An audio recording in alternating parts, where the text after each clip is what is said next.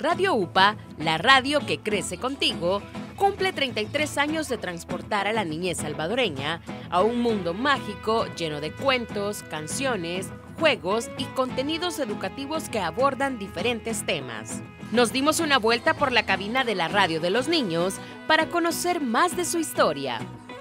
Radio UPA nace en los inicios del 90 cuando estamos a pleno conflicto armado y eh, nació con la inquietud que los niños no tenían espacios eh, para, para, sí, o sea, eh, encendían la televisión, era violencia, un periódico, pues aunque habían algunas secciones infantiles, pero todo el resto era feo de, todo lo que estaba pasando. los niños estaban sitiados en sus casas prácticamente, ¿verdad? No podían salir porque de repente enfrentamientos, balaceras.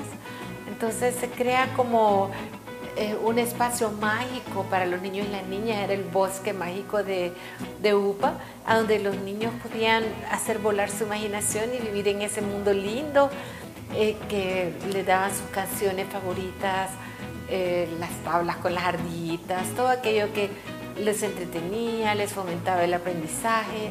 Y también otra parte de la idea era que los niños podían ser protagonistas, o sea que era una radio para los niños y por los niños. Entonces también empezamos a tener programa de los niños y niñas comunicadores y los niños venían acá y aprendían a ser pequeños comunicadores en diferentes temas. Poderoso rey seré sin oposición. no, es el 19. Bruce Marín es uno de los nuevos talentos de la radio de los niños y nos cuenta su experiencia como un niño comunicador de Radio UPA. En el año 2019 mi abuela me abrió el Facebook y Radio UPA tenía ahí una publicación que decía que si querías ser un UPA singer podías entrar mandando tu video cantando a capelas 5 minutos y ellos te iban a tomar en cuenta y cuando mandamos el video yo fui uno de los 13 finalistas. La radio me ha tomado muchas veces en cuenta.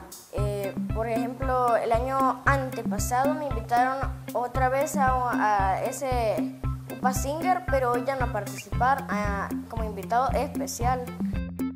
Que el cielo no es azul, ay mi amor, ay mi amor. Que es rojo, dices tú, ay mi amor, ay mi amor. Ves todo al revés, ay mi amor, ay mi amor. Creo que piensas con los pies, ay mi amor, ay mi amor.